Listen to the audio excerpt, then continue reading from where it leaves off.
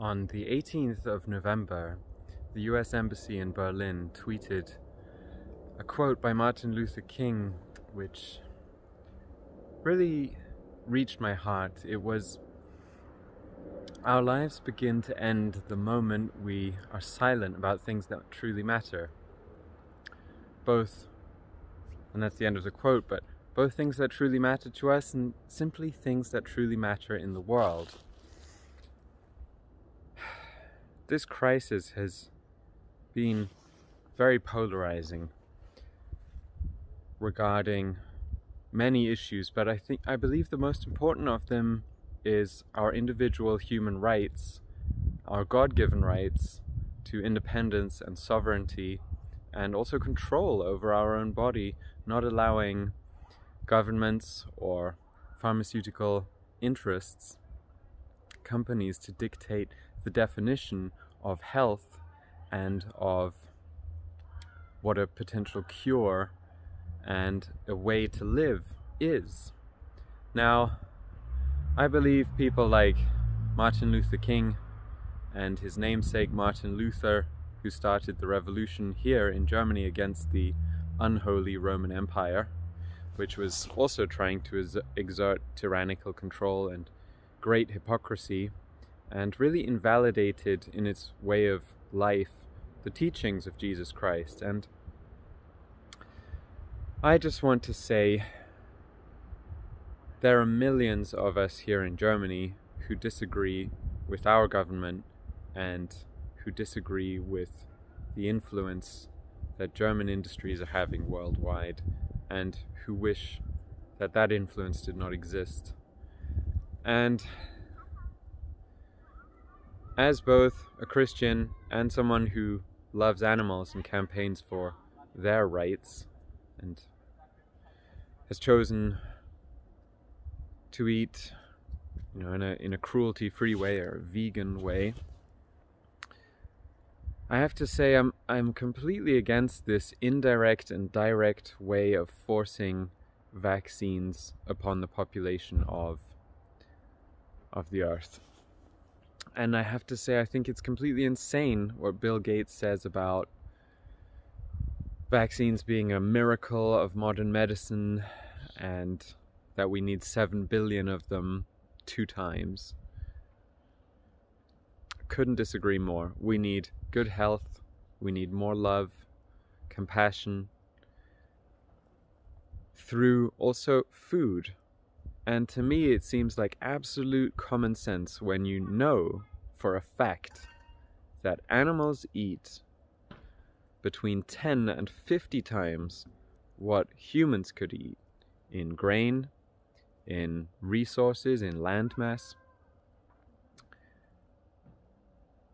and how the vaccine industry, the pharmaceutical industry are all completely interwoven, inseparable from the agricultural and simply the, the whole way of life. And honestly, I think we need to connect back with our roots much, much more and see that having compassion with not only our fellow human beings but our fellow animals and this earth which we're ripping apart with such practices as fracking, monoculture, and you know, the merger of Monsanto and Bayer, a German American company, I, I believe that says it all when you look in the self-terminating seeds and how millions of farmers in India have committed suicide, just the plain outright evil, the cold-blooded evil that is being perpetrated against humanity. I believe it's truly a time to take a stand and Martin Luther King also said other brilliant things like justice justice threatened anywhere in other words injustice injustice anywhere is a threat to justice everywhere. And that the hottest places are in, in hell are reserved for those who remain neutral or passive or, or let evil be done instead of the heavenly fathers, the almighty creators, the unexplainable source of existence instead of letting the holy will be done, the will of life, the will of justice and fairness and goodness. The hottest places in hell are reserved for those individuals, and it's really a sneaking agenda. Um, this mask wearing, you know, it's a direct, it is a political issue, and it is a worldview issue, and it cuts into people's freedom and privacy. And here in Germany, they're even saying, you know, people need to wear these in their own apartments. I mean, it would be funny if it wasn't backed up by force and in their cars and just everywhere. And I don't know what life is like all over Earth. I heard um, in Vietnam and Thailand and Belarus and several Sweden, several other countries, they have rejected the lockdown. But uh, I really believe it's it's high time to take a stand, and I also denounce the newspapers, uh, especially on Christmas Day, uh, publishing such images and articles. Um, Christ as a baby with a vaccine bottle and pretending they know that their parents would have gone along with the vaccine agenda and so on and so forth when there are aborted human tissue cells in there it's the result of countless amounts of torture to animals and there's corruption left right and center in the whole industry. Um, verified fact it's not up for debate it's true you know and the i believe this could be this could be wrong, but this is what I've heard. GlaxoSmithKline owns Pfizer, and GlaxoSmithKline, um, apart from paying billions alongside other pharmaceutical corporations like Merck and Sanofi and so on, and the vaccine courts, especially in America, but in other countries as well, for validated damage to individuals they were caught red handed dumping polio virus in a river.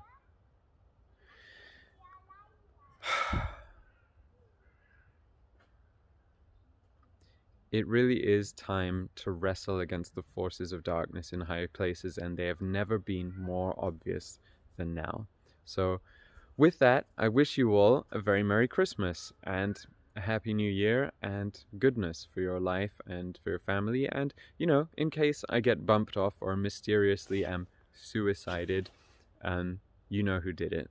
Because that has happened an awful lot um, to important figures who spoke out against this insanity and is proven on the masks. It's written on the mask. It does not protect against viruses. You can ask any surgeon, what what do you wear the mask for? Bacteria.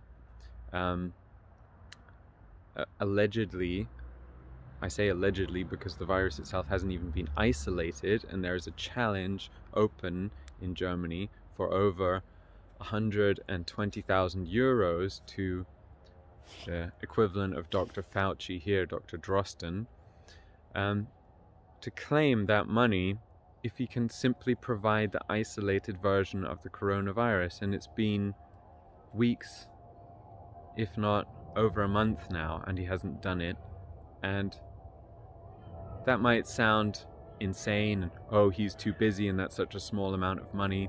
But actually, Dr. Lanka here in Germany um, published a similar challenge and it lasted for over six years for anyone to prove that the measles virus exists and for anyone to isolate the measles virus. And it just goes to show, you know, this hasn't been 100% confirmed, but I believe it's true because it fits in with the whole image that Pasteur said on his deathbed the virus theory is wrong, the terrain is everything, my colleagues were right.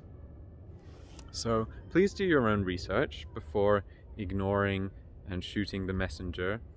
Really take apart this message and look at the individual parts and I'm saying everything I say with a good conscience and I believe it's in the spirit of the founding fathers of freedom, not just in America or Germany or England, but those who resist tyranny and live in tune with their conscience. And in the words of Abraham Lincoln, you know, if you are true to your conscience, if you have a clear conscience, you live in a perpetual Christmas. So, on that note, I salute you who are on the path of goodness and righteousness, and very Merry Christmas.